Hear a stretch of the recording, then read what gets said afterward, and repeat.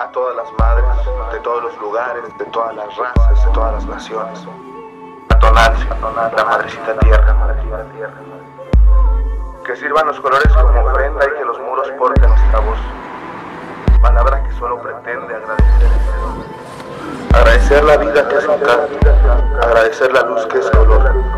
Madre dadora de vida, origen del universo, principio creador.